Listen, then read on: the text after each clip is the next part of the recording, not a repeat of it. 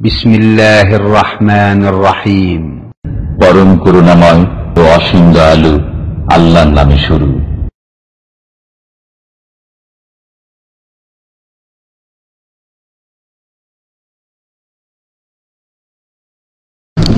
السلام عليكم ورحمة الله وبركاته الحمد لله على الأجلل والواحد الفرد القديم الأول والصلاة والسلام على رسوله الأكرم وعلى آله وصحبه ومن تبعهم ومن تبعهم بإحسان إلى يوم الدين. أما بعد فأعوذ بالله من الشيطان الرجيم. بسم الله الرحمن الرحيم. قال تعالى في القرآن الحكيم ومن يقتل مؤمنا متعمدا فجزاؤه جهنم خالدا فيها وغضب الله عليه ولعنه وأعد له عذابا عظيما وقال الرسول صلى الله عليه وسلم من قتل معاهدا لم يرح رائحة الجنة وإن ريحها توجد من مسيرة أربعين عاما রওয়াহুল বুখারি রাহিমাহুল্লাহ যাবতীয় প্রশংসা ও গুণগান একমাত্র সেই মহামহিয়ান মহান রব্বুল ইজ্জাতের জন্য যিনি আমাদেরকে এই পৃথিবীতে আশরাফুল মখলুকাত তথা সৃষ্টির সেরা জীব হিসেবে সৃষ্টি করেছেন, আমাদেরকে জ্ঞান দিয়েছেন, মর্যাদা দিয়েছেন এবং বলেছেন ওলাকাদ কার্রমনা বানি আদম। নিশ্চয় আমি আদম সন্তানকে সম্মানিত করেছি। সেই মহান রব্বুল আলমিনের শুক্রিয়া আদা করি, বলি আলহামদুলিল্লাহ। প্রশংসা করি সেই মহান রব্বুল আলমিনের, যিনি আমাদেরকে আজকে এখানে সুস্থ অবস্থায় উপস্থিত হওয়ার তৌফিক দান করেছেন সেই মহান রব্বুল আলমিনের শুক্রিয়া আদা করি, যার অসংখ্য নিয়ামাত আমরা ভোগ করছি। আবারও বলি, আলহামদুলিল্লাহ। দরদ শান্তির ধারা বর্ষিত হোক বিশ্বনবী মোহাম্মদুর রসুল্লাহ সাল্লাহ আলহি ওসাল্লামের উপরে, যার জীবনীতে আমাদের জন্য রয়েছে উন্নত আদর্শ, যার জীবনী আমরা অনুসরণ, অনুকরণ করলে দুনিয়াতে শান্তি পাবো এবং পরকালে নাজাত ও মুক্তি পাবো পাবো সুখের নিড় জান্নাত। সেই রাসুলের উপরে আমরা দরুদ পেশ করি, বলি সাল্লাহ আলহি ওসাল্লাম সম্মানিত ভাই এবং বন্ধুগণ, আজকে আমাদের আলোচনার বিষয় হচ্ছে ক্ষমতার দ্বন্দ্বে পিষ্ট মজলুম জনতা। আজকে আমাদের আলোচনার বিষয় হচ্ছে ক্ষমতার দ্বন্দ্বে পিষ্ট মজলুম জনতা। বর্তমান সময়ে আমাদের দেশে এমন একটা পরিস্থিতি অতিক্রম করছে মানুষেরা, যেখানে মানুষের যান, মাল ইজ্জতের কোনো নিরাপত্তা নেই এবং অহরহ হত্যাযজ্ঞ এবং সাথে সাথে মানুষের প্রাণহানি ও প্রাণনাশ ঘটছে কেউ জানতেও পারছে না কেন আমি নিহত হলাম এজন্য কিয়ামতের আলামত এজন্য কিয়ামতের আলামত রসুল করিম সাল্লাহ আলহি ওয়াসাল্লাম বলছেন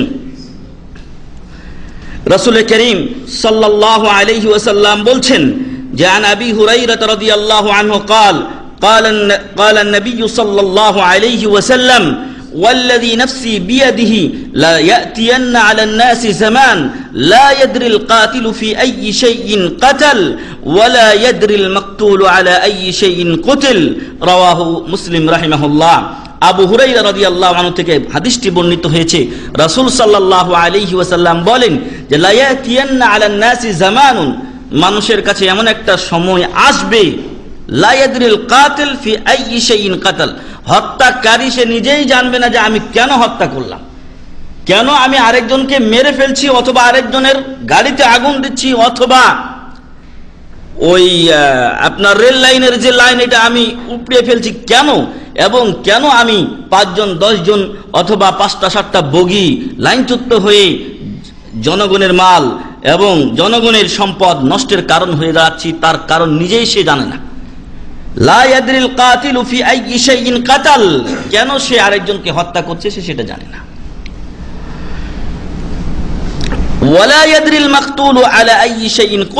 এবং যে নিহত হচ্ছে সেও জানে না যে আমি কেন নিহত হলাম। এর আগে যখন ওই সাতান্ন জন বা সত্তর জন পাশাপাশি দুই তিন দিনে মারা গেল হরতালে, তখন একটা ছেলে বগুড়াতে সকালবেলা সে বের হয়েছে, তাড়াতাড়ি চলে যাবে তার কর্মস্থলে। সে দর্জির কাজ করে। যদি কাজে না যায়, তাহলে তার আয় হবে না। কাজে না গেলে তার আয় হবে না। ছোট একটা ভাই আছে, যার লেখাপড়ার খরচ সেই চালায়। বাবা নেই তাদের। আর ওই লোকটা সকালবেলা ভাবলো যে, হয়তো আমি হরতাল শুরু হওয়ার আগেই চলে যাব। কিন্তু পথিমধ্যেই তার মৃত্যু ঘটেছে। এই লোক জানে না কেন আমাকে হত্যা করা হলো। এরকম নিষ্পাপ লোকদেরকে যারা হত্যা করে, তাদের জন্য ইসলাম কঠোর ও কঠিন শাস্তি উল্লেখ করেছে এবং ইনশা আল্লাহ মহান রব্বুল আলমিন কিয়ামতের দিন এবং দুনিয়াতেও তাদেরকে এই শাস্তি প্রদান করবেন।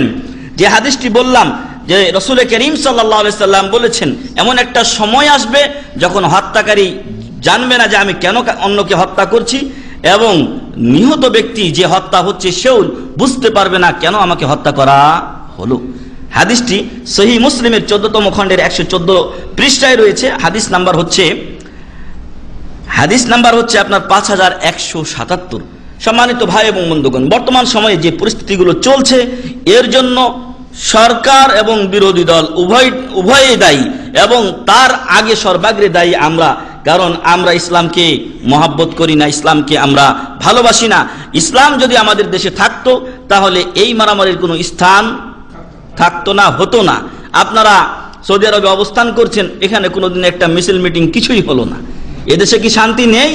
বরং একজন বড় উঁচু পর্যায়ের আপনার লেফটেন্যান্ট জেনারেল এদেশের তিনি গিয়ে আমাদের মদিনা ইসলামী বিশ্ববিদ্যালয়ে আলোচনা করেছিলেন এবং যারা বিশেষত ওই বিভিন্ন জায়গাতে বম ফুটাফুটি করে এবং এক সময় সম্ভবত আপনার সাত থেকে আট বছর আগে আপনাদের এই দাম্মামেও এক সময় এই বম ফুটাফুটি হয়েছিল।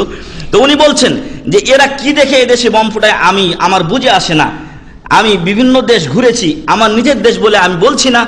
বরং আমি বিভিন্ন স্থানে আমেরিকা, ব্রিটেন এবং আপনার ফ্রান্স ও জার্মানি, বড় বড় যে রাষ্ট্রগুলো আছে, রাশিয়া, সেগুলো আমি ঘুরে দেখেছি। কিন্তু ওই সব রাষ্ট্রের সুখের চাইতে আমার দেশে অনেক অনেক সুখ আছে। একটা লোক যদি তার গাড়ি হাইওয়েতে নষ্ট হয়ে পড়ে থাকে, তাহলে কিছুক্ষণ পরেই দেখবেন যে একটা পুলিশের গাড়ি অথবা কেউ গিয়ে খোঁজ নিচ্ছে যে ভাই কি হয়েছে তো। ওইরকমই একটা অবস্থা হলো আমরা জুবাইলের বার্ষিক সম্মেলনে যাচ্ছিলাম। বার্ষিক সম্মেলন না, বরং দায়ীদের একটা সম্মেলন ছিল সেখানে। তো সেখানে শেখ শরীফ খোবারের যিনি দায়ী, তার গাড়ি নিয়ে আমরা যাচ্ছিলাম। হঠাৎ করে রাস্তায় তার চাকাটা নষ্ট হয়ে গেল। পিছনে আরেকটা চাকা ছিল তার। সেটা আমরা একটা খুলে আরেকটা লাগানোর জন্য প্রস্তুতি নিচ্ছি। ওই সময় পুলিশদের একটা গাড়ি গেছে এবং বলছে যে কোনো মুসাদা? আল্লাহ আকবার।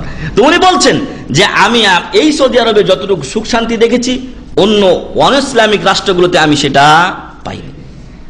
ফলে খেয়াল করে দেখুন যে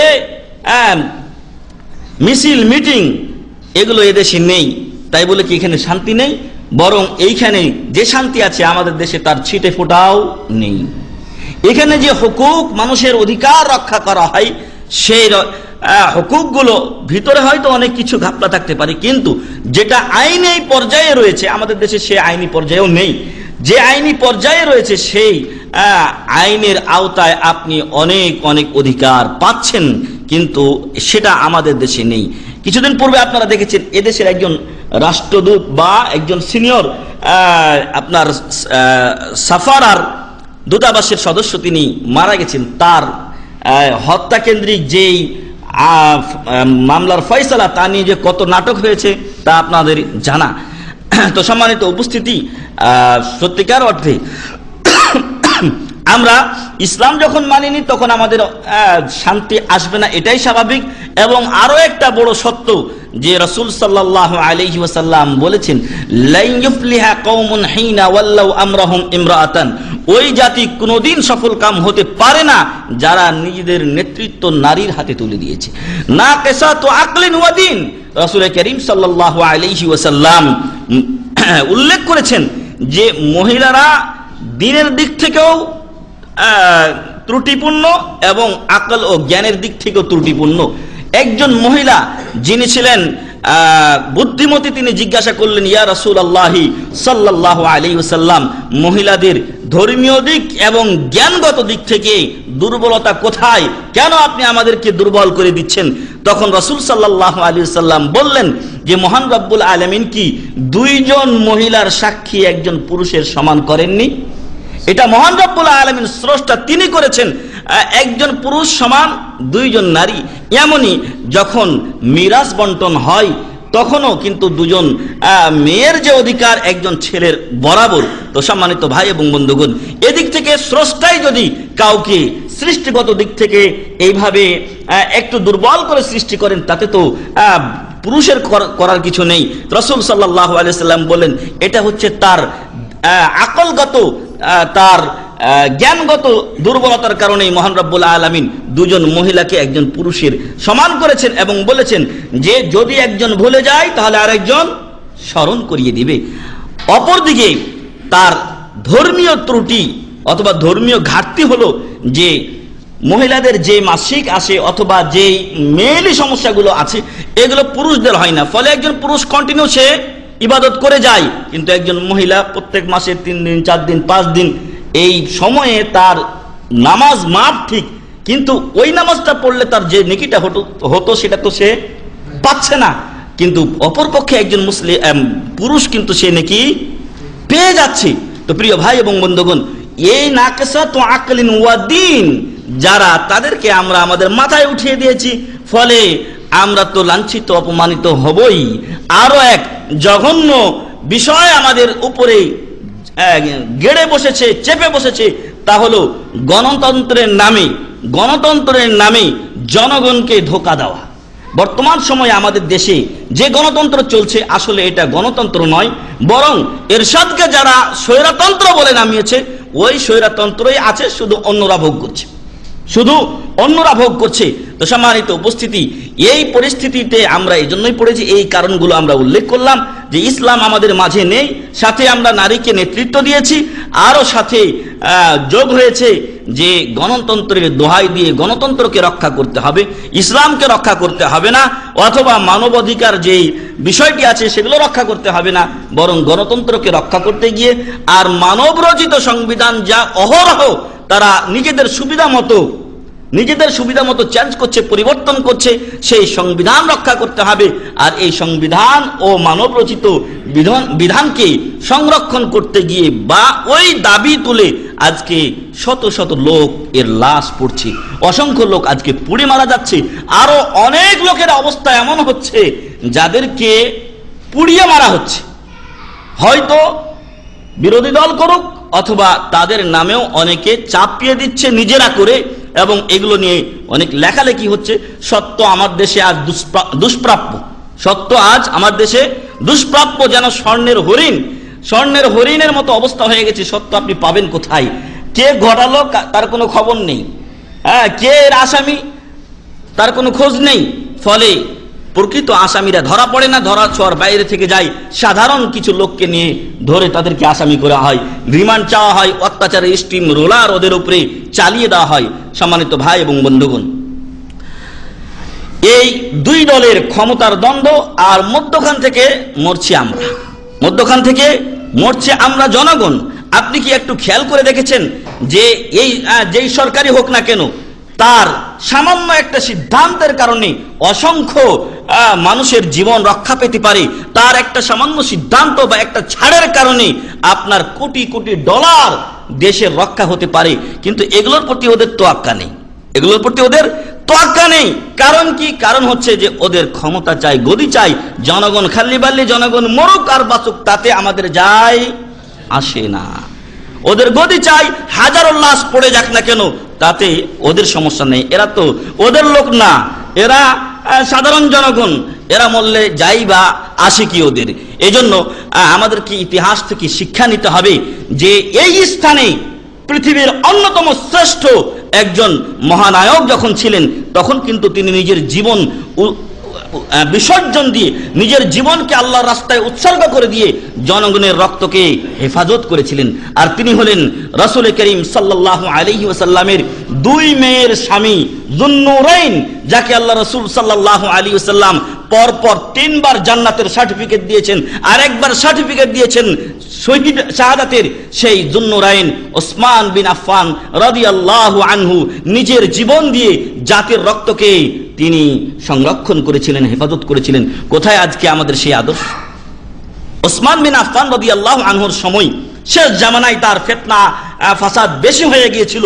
আর আবদুল্লাহ বিন সাবা একজন ইয়াহুদি, সে চক্রান্ত করে নিজেকে মুসলিম বলে পরিচয় দিয়েছিল। আসলে সে মুসলিম ছিল না, ছিল সে ইয়াহুদি এবং বিশ্বের বিভিন্ন প্রান্তে সে ভ্রমণ করে বেড়াচ্ছিল।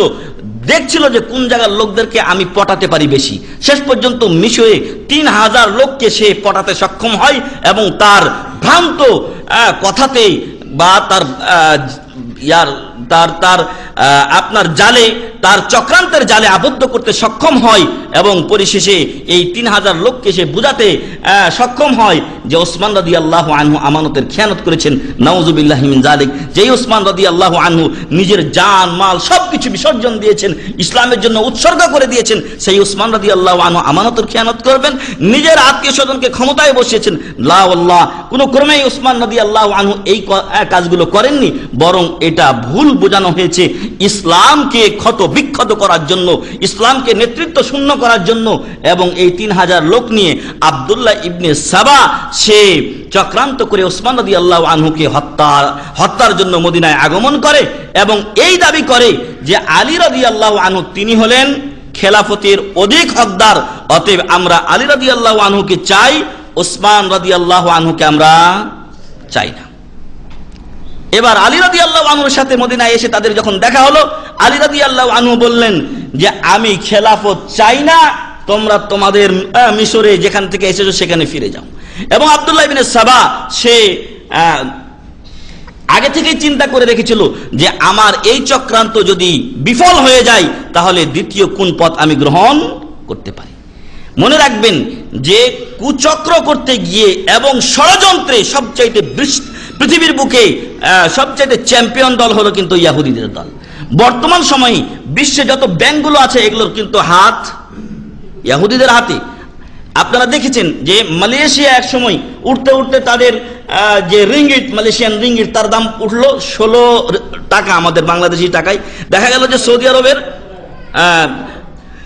দেখা গেল সৌদি আরবের সাথে পাল্লা দিয়ে যাচ্ছে বরং আরও উপরে চলে যাচ্ছে। হঠাৎ করে দেখা গেল যে এক রাত্রে বা কয়েকদিনের ভিতরেই এমন ধস নামলো। এটা একেবারেই নয় দশের দিকে মনে হয় চলে এসেছিল। তো এগুলো শুধু ওদের চক্রান্ত। এক- একটা মুসলিম রাষ্ট্র উপরে উঠুক, এটা তারা চাই না। ফলে এটাকে ধস নামার যে ব্যবস্থা দরকার ছিল সেটা তারা করেছিল। আবদুল্লাহ ইবনে সাবা সেরকমই একজন, বরং তার, তাদের এদের দাদা বরং এদের দাদা এবং চক্রান্তের হোতা ছিল আবদুল্লাহ ইবনে সাবা। সে আগে থেকে প্ল্যান করে রেখেছিল যে আমার এই ষড়যন্ত্র যদি ব্যর্থ হয়ে যায়, তাহলে আমি কোন পথে পালাবো? তখন সে আগে থেকে একটা লেটার লিখেছিল, একটা চিঠি লিখেছিল, এবং সেখানে ওসমান বিন আফফান রদি আল্লাহ যে শিল ছিল, সেই শিলকে নকল করা হয়েছিল। আর তাতে লেখা হয়েছিল যে এই তিন হাজার লোক যখন মিশরে ফিরে যাবে, সম্ভবত আমরুবনুল আস অথবা অন্য কেউ মিশরের ইয়া ছিলেন, খলিফা, গভর্নর ছিলেন দায়িত্বে ছিলেন, তো তাকে লিখলেন যে, এই লোকগুলো যখন যাবে তোমার কাছে, তখন এদেরকে হত্যা করবে। চক্রান্ত করে এই চিঠিটা লিখালো এবং নিজের একজন লোক দিয়ে বলল যে, তুই আমাদের অনতি দূর দিয়ে মানে একটু দূরত্ব রক্ষা করে দূর দিয়ে যাবি এবং আমরা যেন তোকে দেখতে পাই আর তুই উসমান রাজি আল্লাহ আনহুর লোক, এটা এই অপবাদ দিয়ে তোকে যেন আমরা ধরতে পারি, এই ব্যবস্থা তুই করবি। ঘটনা তাই ঘটলো সে অনেক দূর দিয়ে যাচ্ছে, এক সময় উকি মেরে এই দলকে সে দেখা দিল, ফলে এই তিন হাজার লোক মনে করল এই কুন্না চক্রান্ত আসছে আমাদের বিরুদ্ধে, কিন্তু বাকি লোকগুলো জানে না যে আসলে ঘটতে যাচ্ছে কি, আর এই লোকটা আবদুল্লাহ বিন সাবারি তৈরি।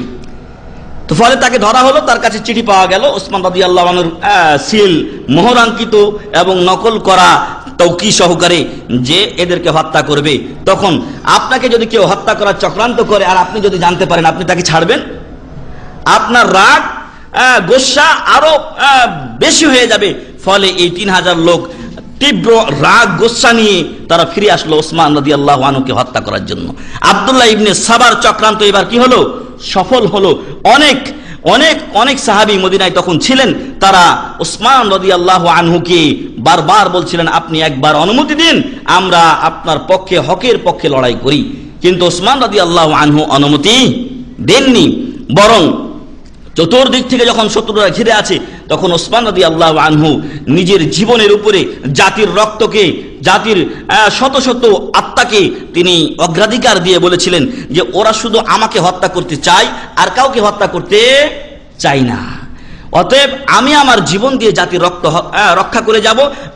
হারামে মাদানিতে হারাম এরিয়ার ভিতরে অন্যায় রক্ত এবং পরস্পর মুসলমানদের দুটি দলে আমি রক্তপাত হতে দেব না।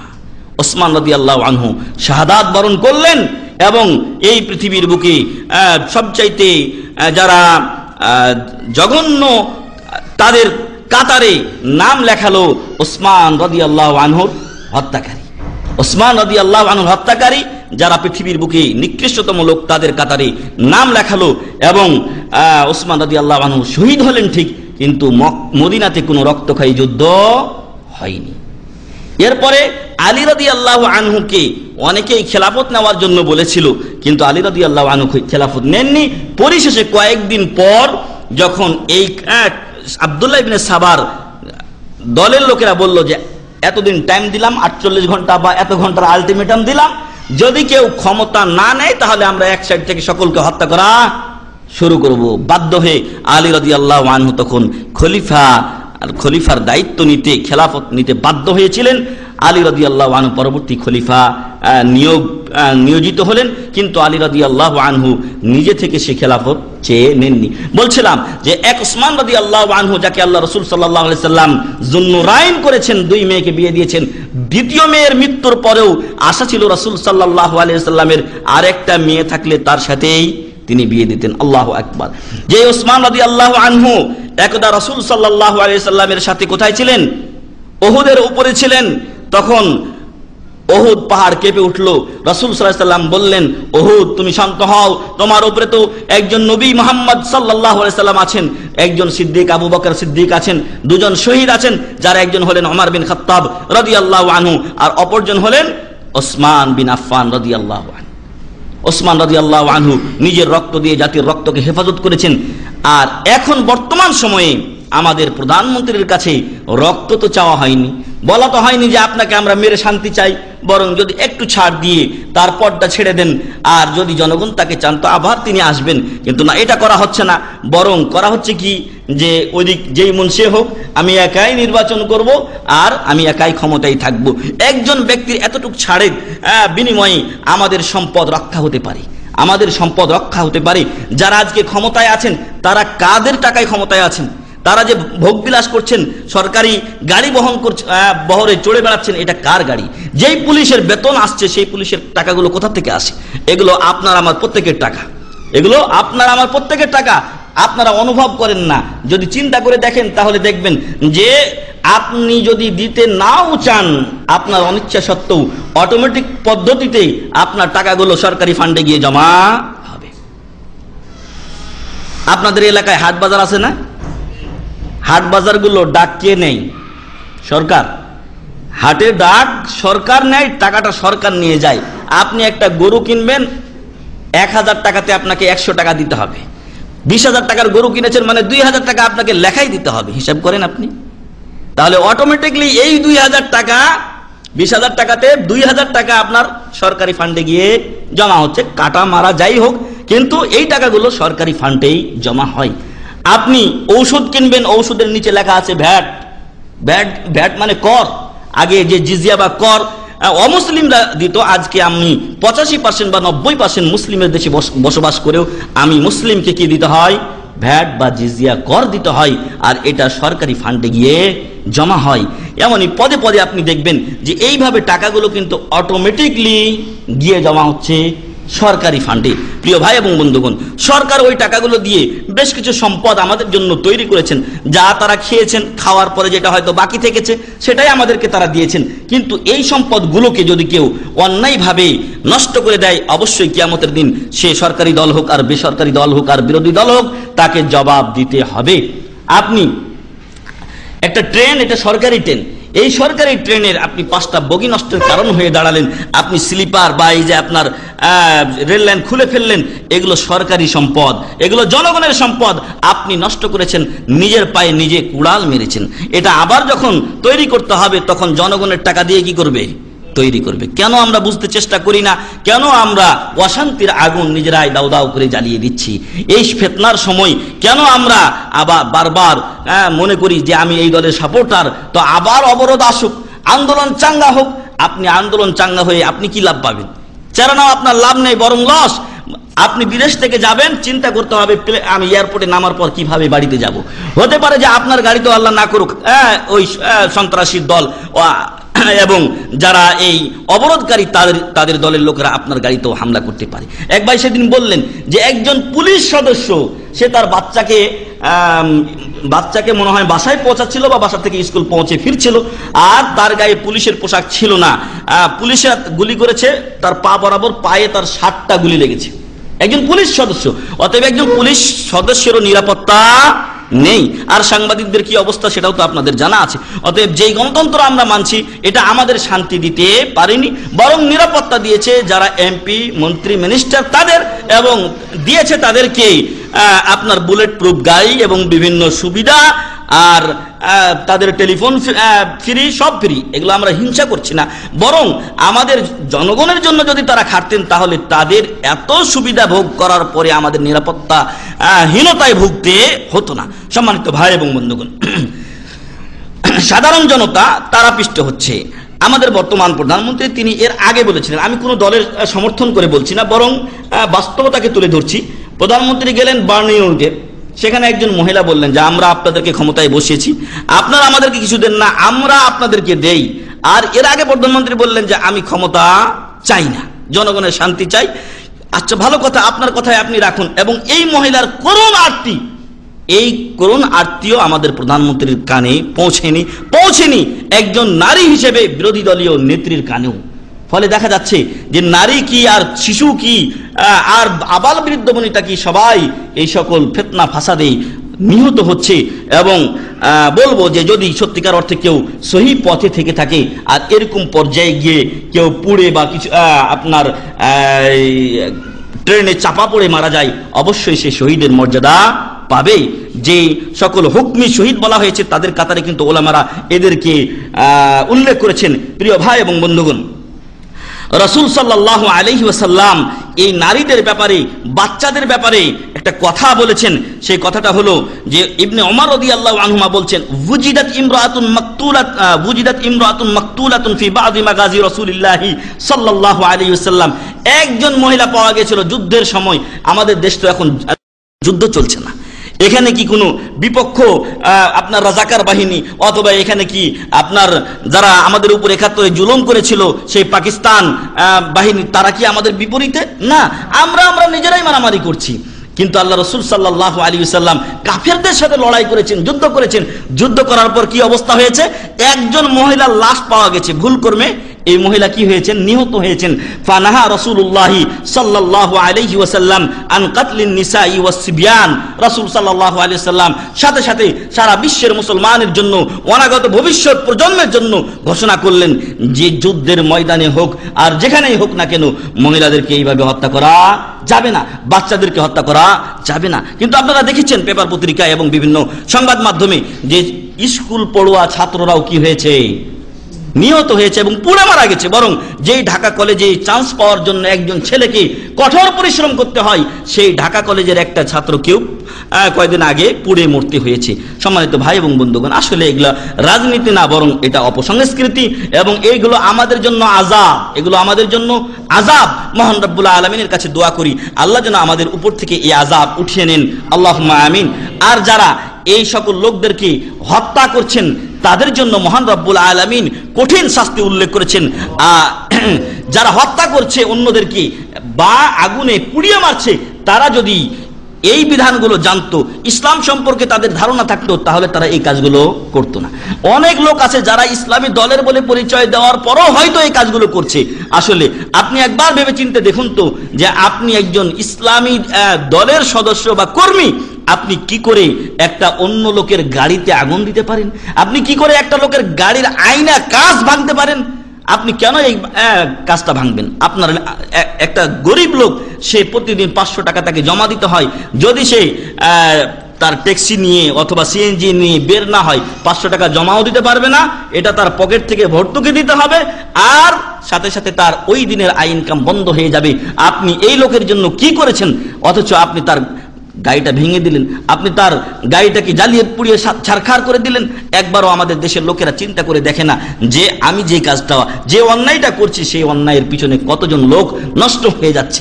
একজন রিক্সাওয়ালা মারা গেল। রিক্সাওয়ালা ওই পরিবারের একমাত্র আয় ইনকামের লোক। সেই পরিবারকে এখন কে কে দেখবে? ভিক্ষা ছাড়া এদের কোনো উপায় থাকবে না। আর বাংলাদেশে ভিক্ষার অবস্থা তো ভালো করেই আপনাদের জানা। সম্মানিত ভাই এবং বন্ধুগণ এই জন্য আমরা এই পরিণাম খেয়াল করি না, যার ফলে যারা এই কাজগুলো করছে, তারা পরিণাম না জেনেই করছে অনেকে এবং অনেকে জানলেও কিছু দল বা ব্যক্তির প্রতি তাদের অন্ধ গোড়ামির জন্য তারা কর- করছে। কিয়ামতের দিন এই অন্ধ গোড়ামির প্রশ্ন তাদেরকে করা হবে না, বরং তারা যে অন্যায় করেছে, সেই অন্যায়ের তাদেরকে পুরস্কার দেওয়া হবে। মহা পুরস্কার। মহান রব্বুল আলমিন তিরস্কার স্বরূপ এটাকে পুরস্কার বলে উল্লেখ করেছেন। মহান রব্বুল আলমিন বলছেন সুরাতুল নিসার তিরানব্বই নম্বর আয়াতি, যে ওয়ামান ইয়াকতুল মুমিনান মুতাআম্মিদান ফাজাযাউহু জাহান্নাম। যে ব্যক্তি ইচ্ছাকৃত কোনো মুমিনকে হত্যা করবে, যারা নিহত হচ্ছে, আমরা তাদেরকে কাফের বলতে পারব না। যদি হিন্দু কেউ থাকে সেটা আলাদা বিষয় বা বিধর্মী কেউ থাকে সেটা আলাদা বিষয়। কিন্তু বেশিরভাগ লোকগুলো মুসলমান। বেশিরভাগ লোকগুলো মুসলমান, আর তারা মমিন। মহান রব্বুল আলমিন বলছেন ওয়ামাই ইয়াকতুল মুমিনা মুতাআম্মিদান। কোন ব্যক্তিকে যে ইচ্ছা, কোন মমিন ব্যক্তিকে যে ইচ্ছাকৃত হত্যা করে, আর ইচ্ছাকৃত হত্যার আওতায় এগুলো সবই পড়ে। কারণ আপনি ইচ্ছা করে রেল লাইনের ইয়া প্লেট খুলছেন। ইচ্ছা করে আপনি বোমা মারছেন। ইচ্ছা করে আপনি একটা গাড়িকে উল্টে দিচ্ছেন। এগুলো সবই ইচ্ছার অন্তর্ভুক্ত। সম্মানিত ভাই এবং বন্ধুগণ, মহান রব্বুল আলমিন বলছেন, আসো, তোমাকে একটু পুরস্কৃত করি আমি। মহান রব্বুল আলমিন বলছেন ফাজাজা উহু তার পুরস্কার হলো, তার প্রতিদান হলো জাহান্নাম। তাকে খুব আরামে আয়েসে রাখা হবে। কি বেলাল ভাই? হ্যাঁ? না, তাকে জাহান্নামে রাখা হবে।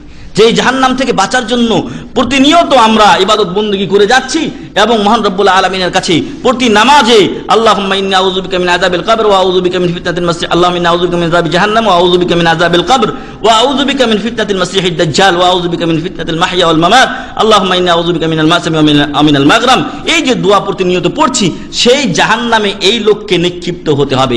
আপনি ইসলামী দলের হন ওয়ান ইসলামী দলের হন, সরকারি দলের হন আর বিরোধী দলের হন, যে দলের হন না কেন, আপনি যদি কোনো মুমিন ব্যক্তির পিছনে ইচ্ছাকৃত হত্যায় জড়িত থাকেন তাহলে মহান রব্বুল্লাহ আলমিন আপনাকে সুন্দর এই পুরস- পুরস্কারটা দিবেন এক নাম্বার ফাজাজা উহু জাহান্নাম তার প্রতিদান হলো জাহান্নাম খালিদান ফিহা সেখানে তাকে কয়েকদিন রেখে আবার নিয়ে চলে আসা হবে না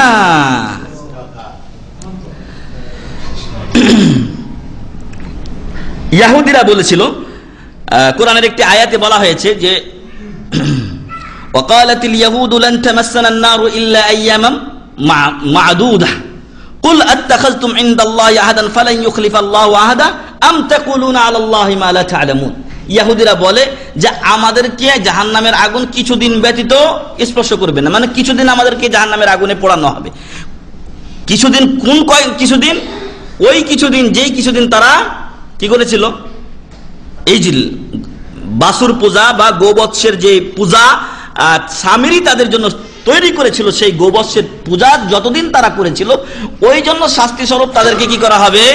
জাহান নামের আগুনে পোড়া হবে। তারপরে তাদেরকে আবার বের করা হবে। নারু ইল্লা কিছুদিন। মহান রব্বুল আলামিন বলছেন যে মোহাম্মদ সাল্লাল্লাহু আপনি ওদেরকে বলে দিন, কুল আত্তাখাযতুম ইনদাল্লাহি আহাদা। তোমরা কি আল্লাহর কাছে অঙ্গীকার গ্রহণ করেছ, ওয়াদা নিয়েছো? ফালা ইউখলিফাল্লাহু আদা আল্লাহ তাআলা তার অঙ্গীকার ভঙ্গ করবেন না। আম তাকুলুনা আল্লাহ মা লা তা'লামুন নাকি তোমরা আল্লাহর উপরে এমন কথা বলছো যা তোমরা জানো না? কোনটা সত্য? লাস্টের কথাই সত্য। তারা এমন কথা বলে আল্লাহর উপরে আল্লাহর বিপরীতে যা তারা নিজেরাই জানে না। প্রিয় ভাই এবং বন্ধুগণ, ওইরকম অবস্থা তো হবে না যে এই লোককে কিছুদিন জাহান নামে রেখে আবার টেনে না হবে না। মহান রব্বুল আলমিন বলছেন, খালিদান ফিহা। জাহান নামে সে চিরস্থায়ী থাকবে। আর কি হবে? দুইটা শাস্তি কিন্তু গেল। এক নাম্বার জাহান নামে দেওয়া হবে, দুই নাম্বার চিরস্থায়ী জাহান নামে দেওয়া হবে। আলাই আল্লাহ তাকে খুব মহব্বত করবেন। নাকি? না। বিপরীত। গাদিবাল্লাহু আলাই আল্লাহ তার উপরে গোসা হবেন, রাগান্বিত হবেন। যেই লোকদের থেকে পাচক নামাজে প্রত্যেক রাকাতে, একটু তো আগে বললাম যে জাহান্নাম থেকে প্রত্যেক তাসাহুদ শেষ তাসাহুদে আমরা আল্লাহর কাছে আশ্রয় চাই। কিন্তু আমরা মাকদুব আলাইহিম, আল্লাহর গজব থেকে, আল্লাহর গোসা থেকে আমরা প্রত্যেক রাকাতে আল্লাহর কাছে কি চাই? আশ্রয় চাই পানাই পানা চাই। আমরা কি বলি? সূরাতুল ফাতিহা যখন পড়ি, বলি, ইহদিনাস সিরাতাল মুস্তাকিম সিরাতাল্লাযীনা আনআমতা আলাইহিম গায়রিল মাগদুবি আলাইহিম, গায়রিল মাগদুবি আলাইহিম ওয়ালাদ-দাল্লিন। আমরা আল্লাহর কাছে সোজা পথ চাই, কাদের পথ? সিরাত সিরাত ইহদিনাস সিরাতাল মুস্তাকিম সিরাতাল্লাযীনা আনআমতা আলাইহিম, যাদের উপরে আপনি নিয়ামত দিয়েছেন, অনুগ্রহ করেছেন, তারা কারা? নবীগণ সিদ্দিগুন শহীদগণ ওয়াসালেহীন এবং নেককার ব্যক্তিগণ, ওয়াহাসুনা উলাইকা রাফিকা, বন্ধু হিসাবে তারা কতই না চমৎকার, মহান রব্বুল আলমিন যেন কিয়ামতের দিন আমাদেরকে তাদের সাথে হাসর নাসর করেন, জান্নাতে তাদের সাথে থাকার তৌফিক দান করেন আল্লাহ আমিন। এবং তারপরে আল্লাহ, আল্লাহর কাছে আমরা প্রত্যেক রাকাতে প্রার্থনা করছি গাইরিল মাগদুবি আলাইহিম গাইরিল মাগদুবি আলাইহিম, আল্লাহ তাআলা ওদের পথ আমাদেরকে দেখায়েন না, যাদের উপর আপনি গোসা হয়েছেন, রাগান্বিত হয়েছেন, এরা কারা? এরা ইয়াহুদিরা। একটু আগে যাদের কথা বলেছি, এই ইয়াহুদিদের উপরে আল্লাহ তাআলা গোসা হয়েছেন। কেন গোসা হয়েছেন? কারণ কি? কে বলতে পারবেন? ইয়াহুদিদের উপরে আল্লাহ তালা গোসা হয়েছেন। পরের অংশে বলছেন, ওয়ালাদ দলিন এবং যারা পথভ্রষ্ট, ওদের পথও আমাদেরকে দেখায় না। কেন এদের প্রতি আল্লাহ তালা রাগান্বিত হলেন? জি ভাই, পিছনে। জেনে তারা ইবাদত করতো না। ইয়াহুদিরা জানতো, কিন্তু ইবাদত করতো না। এই জন্য আল্লাহ তাদের প্রতি গোসা হয়েছেন।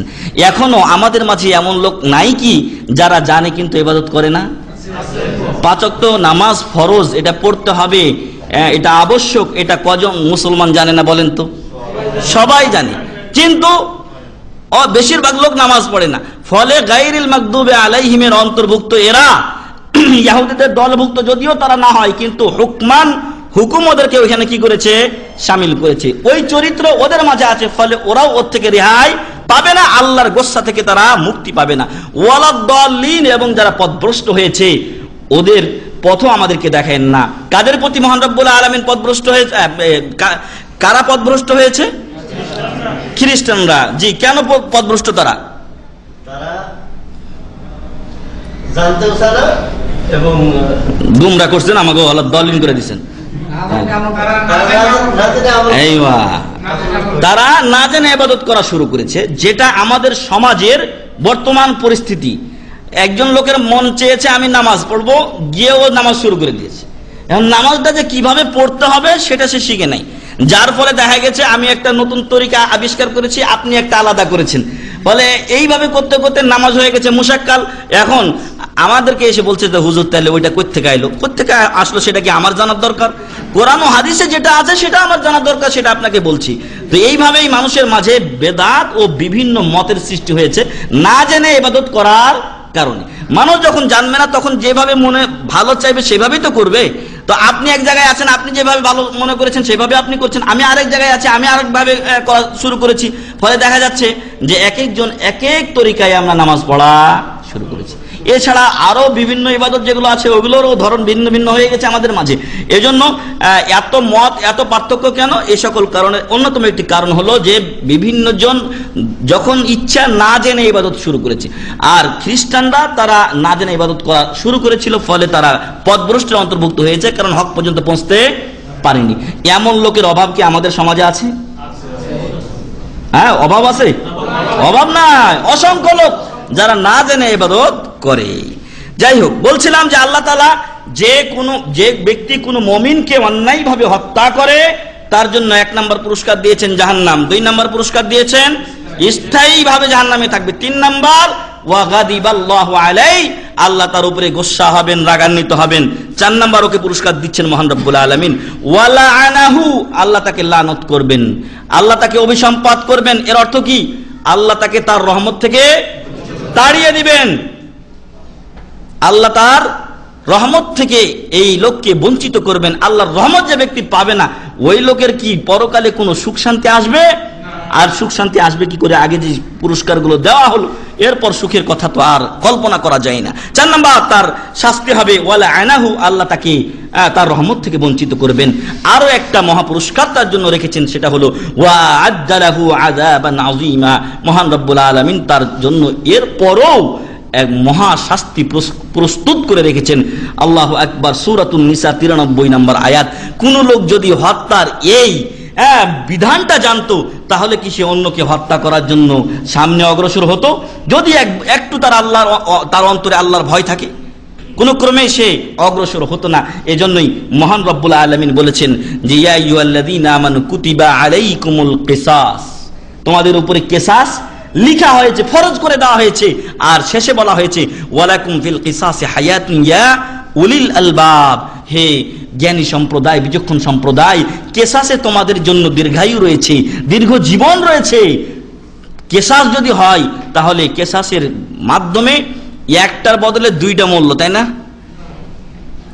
আপনাকে হিসাব বুঝাই আমি যে আপনাকে আমি হত্যা করলাম, নাউজুবিল্লাহ আমিন জালেক আল্লাহ যেন এ থেকে হেফাজত করেন আল্লাহ আমিন। একটা লোক আরেকটা লোককে হত্যা করল। এখন যদি কেসাস না হতো, তাহলে এমনি পার পেয়ে যেত। কিন্তু কি আর কেসাস না হলে এমনি পার পেয়ে যেত, তাহলে একটা লোক মারা গেল। কিন্তু যদি কেসাস হয়, তাহলে ওর বদলে হত্যাকারীকেও হত্যা করা হবে, তাহলে দুইটা লোকের জীবন গেল না? তাহলে কেসাসে কি করে আমাদের জন্য দীর্ঘ জীবন থাকল? যেই কথা যেই কথা রব্বুল আলমিন বলেছেন সেটা হলো যে সাময়িকভাবে যদিও কিছু লোকের প্রাণহানি ঘটে হত্যার বদলে হত্যার কারণে, কিন্তু পরক্ষণে যখন মানুষ খেয়াল করবে, আমি হত্যা করলে আমাকেও হত্যা করা হবে, তাহলে সে আর হত্যার পথে হাত বা পা বাড়াবে না। তো সম্মানিত উপস্থিতি। এই জন্যই মোহান রব্বুল আলমিন বলছেন, ওয়ালাকুম ফিল কেসাসি হায়াতুন উলিল আলবাব। হে বিচক্ষণ সম্প্রদায়, কেসাসে তোমাদের জন্য দীর্ঘ জীবন রয়েছে। মানুষ প্রত্যেকেই নিজের জীবনের ভয় করে, নিজের জীবন কি করতে চায়? বাঁচাতে চায়, নিজে পৃথিবীতে বাঁচতে চায়। একশো বছর বয়স হয়ে গেছে, লোকটা কি মরতে চায় নাকি বলেন তো?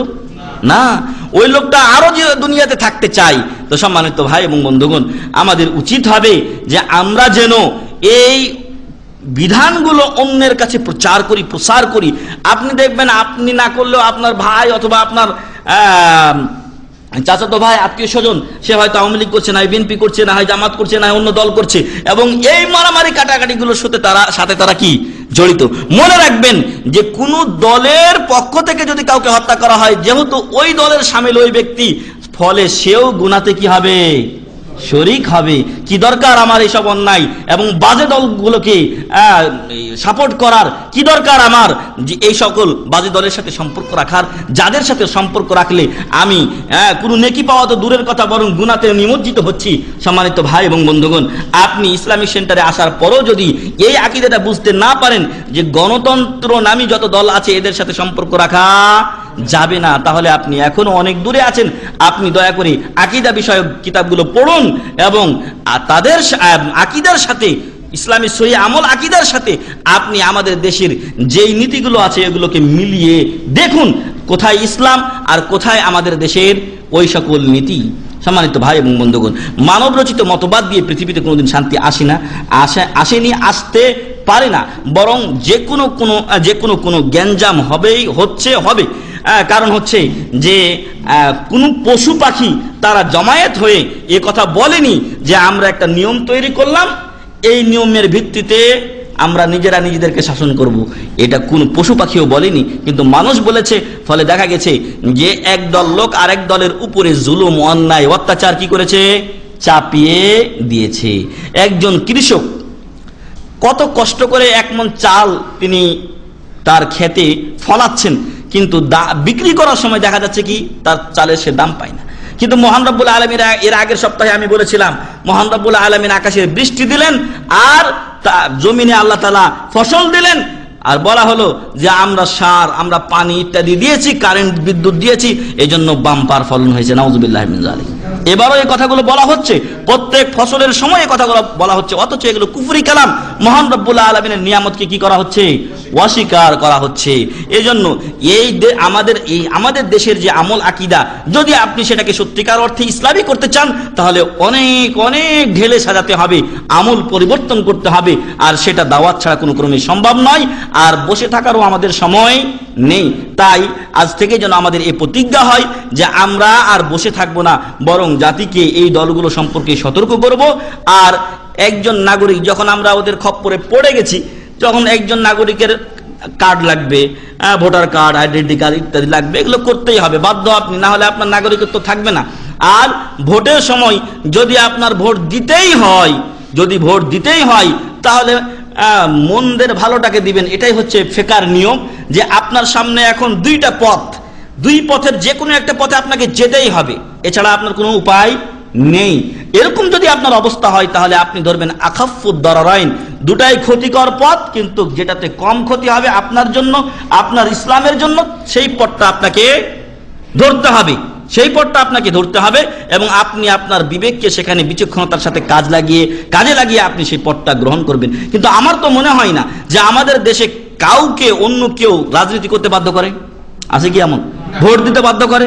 না। আপনার ইচ্ছা হলে আপনি যাবেন, না হলে আপনি যাবেন না। তো এই জন্য বলব যে আমরা যেন ইসলামটাকে বোঝার চেষ্টা করি এবং এবং ইসলামটাকে বোঝার চেষ্টা করি এবং যেইভাবে ইসলাম আমাদেরকে চলার জন্য বলে, সেইভাবে চলার চেষ্টা করি মহান রব্বুল আলমিন। আমাদেরকে সে তৌফিক দান করুন আল্লাহ আমিন। থেকে বর্ণিত তিনি বলছেন যে আইনা তো তিনি বলছেন, একটা লোককে আমি সহযোগিতা করার জন্য বের হলাম, তখন আমাকে আবু বাকরা সাহাবি, তিনি আমাকে বলছেন যে, কোথায় যেতে চাও তুমি?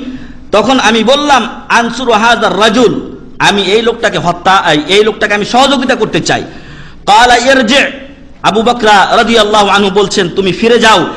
সামিতু রাসূলুল্লাহি সাল্লাল্লাহু আলাইহি ইয়াকুল, আমি রাসূল সাল্লাল্লাহু সাল্লামকে বলতে শুনেছি, ইজাল তাকাল মুসলিমান বেসাইফিহিমা, ইজাল তাকাল মুসলিমান বেসাইফিহিমা। দুই মুসলমান যখন ককটেল আর ওই পেস্তল নিয়ে, তরবারি নিয়ে একজন আরেকজনকে মারার জন্য উদ্যত হয়, তখন ফালকাতিল ওয়াল মাকতুল ফিন্নার। হত্যাকারী আর নিহত ব্যক্তি উভয়ে কোথায়? জাহান নামে যাবে। কেন? ফাকুলতু ইয়া রাসূলুল্লাহ, হাযাল কাতিলু ফামা বালুল মাকতুল? আবু বকর আনহু রাসূল আলাইহি সাল্লামকে জিজ্ঞাসা করছেন, আল্লাহ রসুল সাল্লাম যে হত্যা করল আর একটা মুমিনকে মুসলমানকে সে না হয় জাহান্নামে গেল, যে কথাটা সুরা নিসার 93 নম্বর আয়াতে পাঁচটা পুরস্কার দিয়ে আপনাদেরকে এতক্ষণ বুঝালাম। মানলাম যে একজন মুসলমান আর একজন মুসলমানকে হত্যা করলে না হয় এই পুরস্কার পাইলো, জাহান্নামে গেল। কিন্তু ফামা বালুল মাকতুল, যে লোককে মারা হলো, ওর অপরাধটা কি? যে লোককে মারা হলো, তার অপরাধটা কি? কালা ইন্নাহু কানা হারিসান আলা কাতলে সাহিবিহি। এই লোকটাই কিন্তু ওই লোকটাকে যে হত্যা করছে, ওকে মারার জন্য কিন্তু খুবই লোভী ছিল।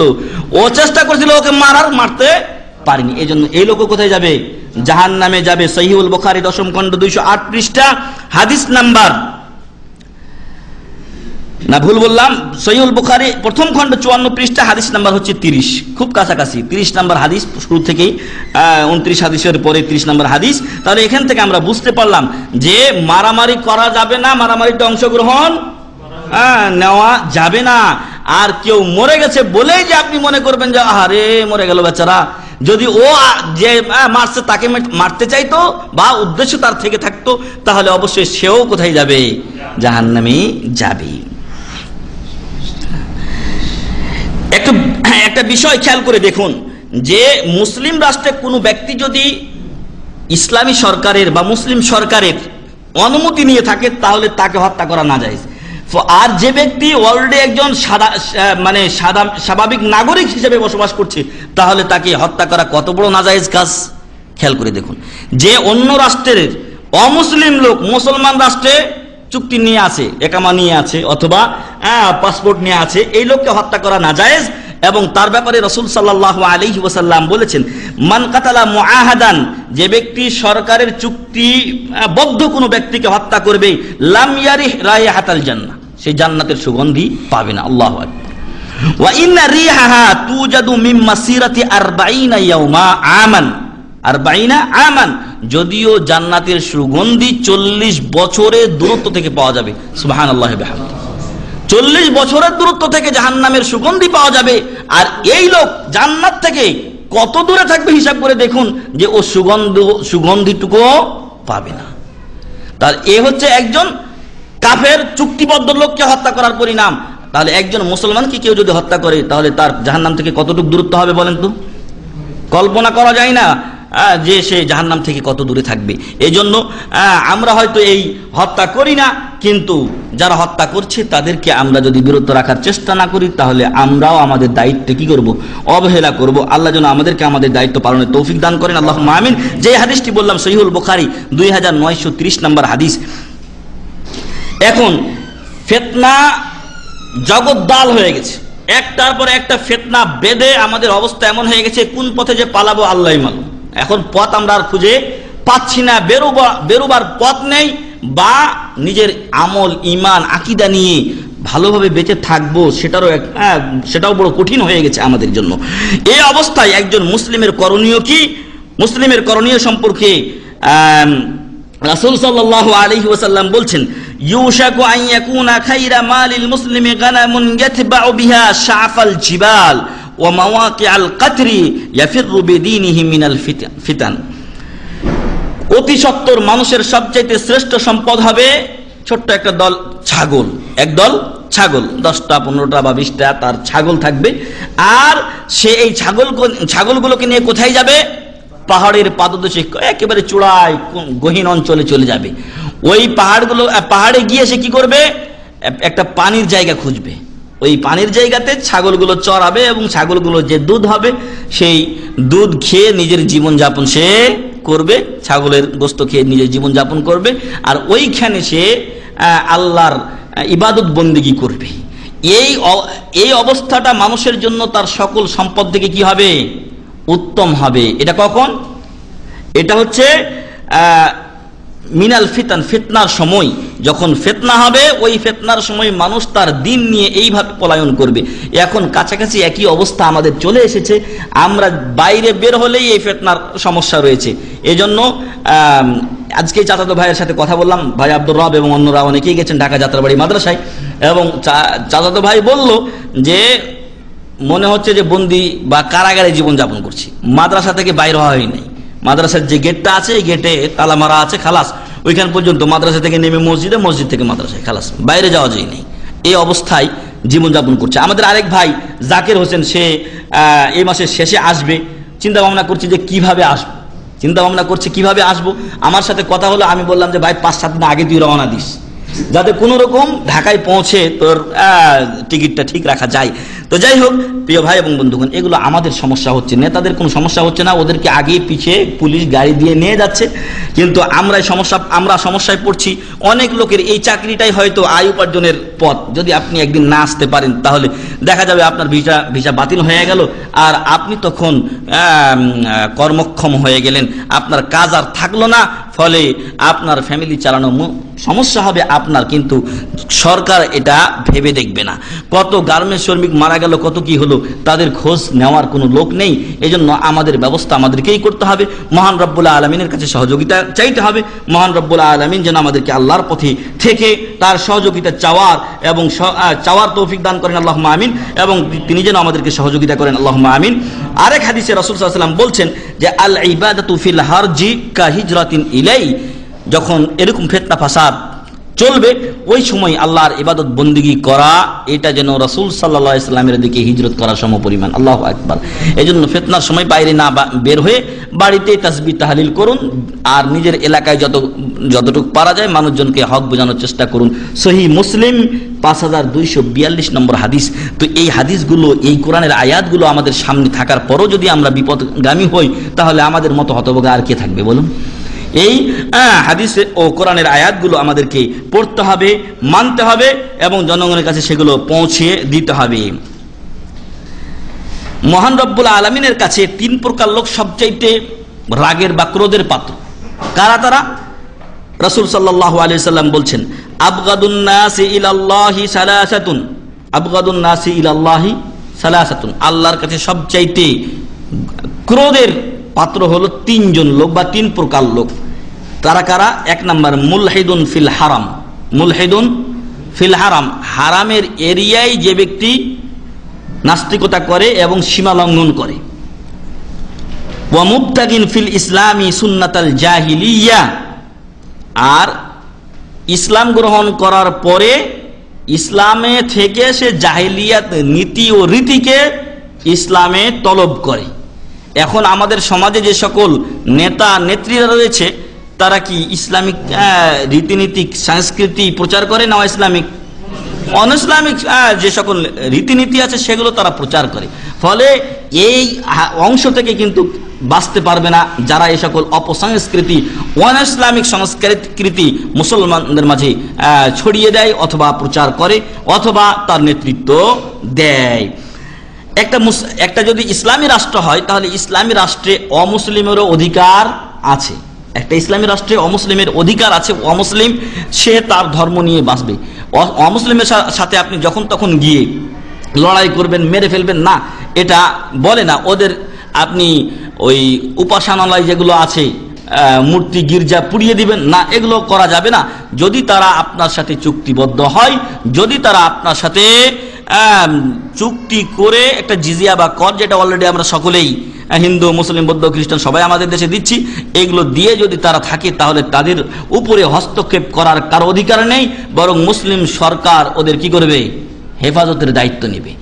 এক এলাকায় মুজাহিদগণ তারা ওই এলাকাটা জয় করলেন। জয় করার পরে ঘোষণা দেওয়া হলো যে আপনারা যদি মুসলমান হন, তাহলে আপনারাও আমাদের মতো ইসলামের অধিকার পাবেন। আমরা যা পাই আপনারাও পাবেন। আমরা যা করি, তা আপনাদেরকে করতে হবে।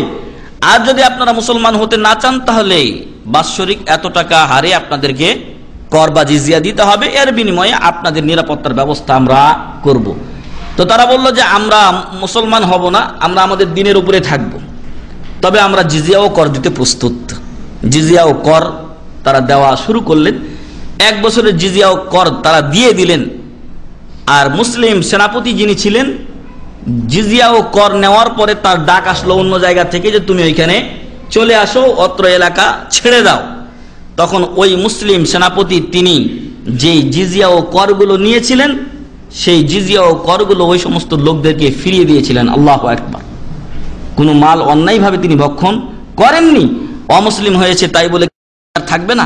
কিন্তু এখন দেখা যাচ্ছে যে কিছু মহল এই বিষয়টাকে নিয়ে, এই বিষয়টিকে নিয়ে তারা নিজেরা কিছু কাজ ঘটিয়ে বা অপকর্ম ঘটিয়ে অন্যের ঘাড়ে চাপিয়ে দিয়ে বাংলাদেশটাকে একটা মানে সাম্প্রদায়িক দেশ হিসাবে পরিচিত করতে চায় যে এখানে মুসলমানরা অমুসলিমদের উপরে জুলুম করে, নির্যাতন করে, নাউজুবিল্লাহ জালে যারা এরকম কাজ করে, তাদেরকেও আল্লাহ তালা একটা পুরস্কার দিয়েছেন।